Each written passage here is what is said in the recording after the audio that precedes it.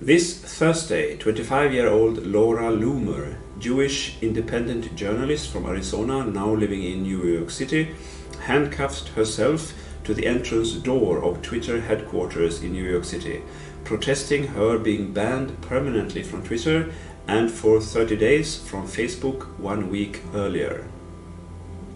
After approximately two hours, police removed the handcuffs. She was not arrested, and Twitter has said they won't press charges.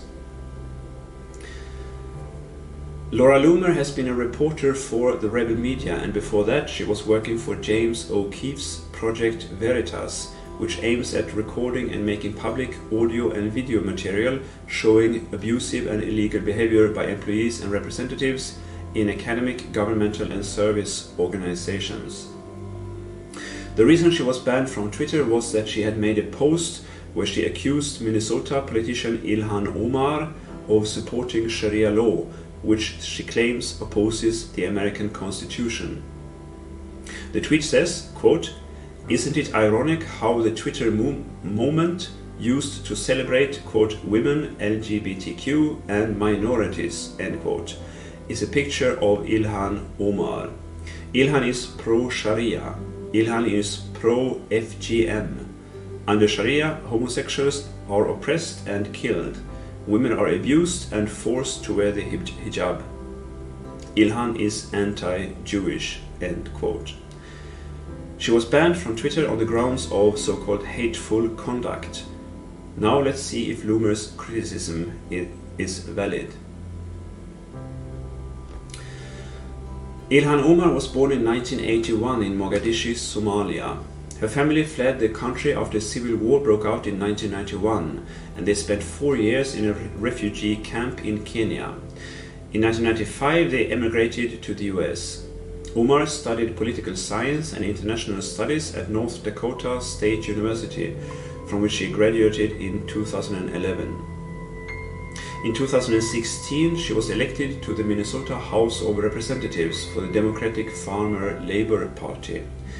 She was the first Somali American ever elected to le- legislative, legislative office in the US. On November the 6th, uh, 2018, she became the first Somali American and one of the first Muslim women ever elected to Congress.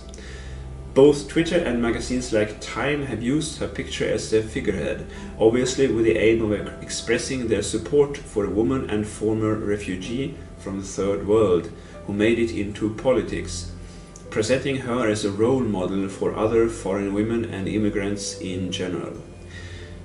They probably fell into the common leftist trap of idealizing people whom they judged as, belong- as belonging to a so called weak group in society, while at the same time upholding or perhaps refueling the American myth of being the land of unlimited possibilities, where everyone can make it with discipline and hard work. However, did they pay attention at all to what value system Omar is defending and the implications of a Muslim gaining political influence in the most powerful country, not just in the West, but in the world? In 2012, Omar tweeted, quote, Israel has hypnotized the world. May Allah awaken the people and help them see the evil doings of Israel. End quote. When the tweet was reshared in May 2018, she commented, quote, drawing attention to the apartheid Israeli regime is far from hating Jews, end quote. According to her campaign office in a notification from November 2018, she supports the boycott, divestment and sanctions movement, a global campaign promoting boycott against Israel. Thus, Loomer's accusation of Omar as being anti-Jewish is at least partly true, since Omar is clearly very negatively biased towards Israel. In many cases, unreflected and cliched criticism of Israel of the kind that Omar expressed is just a masked anti Semitism. Then, what about Omar's stance on Sharia and FGM or female genital mutilation? In 2011, Omar had a religious divorce according to Islamic tradition. She was legally divorced in 2017. On Twitter, she posted the following quote, the fear of Muslims implementing Sharia in the US is laughable. We make up less than 1% of the US pop and have only two members in Congress, end quote.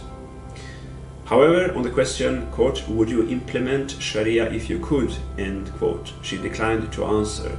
The woman who asked her this then posted, quote, she didn't answer, she won't, because she would implement Sharia if she could, end quote.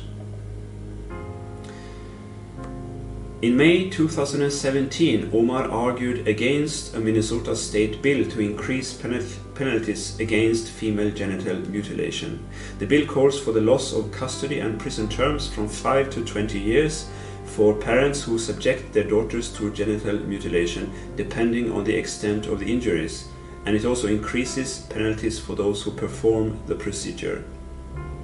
People in Minnesota's immigrant and refugee communities opposed the bill, and Omar too re- rejected it, defending existing laws, according to which FGM is also pro- prohibited, although she eventually voted for the bill.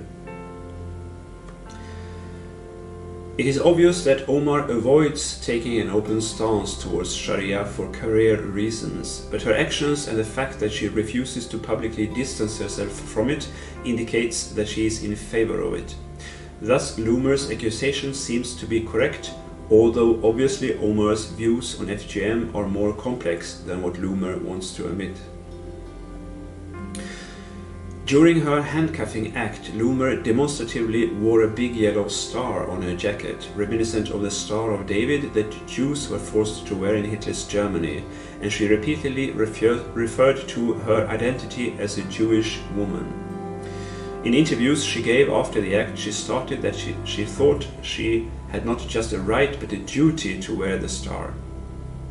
Thus, it's possible that Loomer somewhat exaggerated her accusations against Omar for personal reasons. But this notwithstanding, the core of her criticism is obviously true, and the fact that Twitter and some hours later Facebook choose to ban her for making accusations that on the whole were correct is a severe attack on free speech in the land of the free and the home of the brave.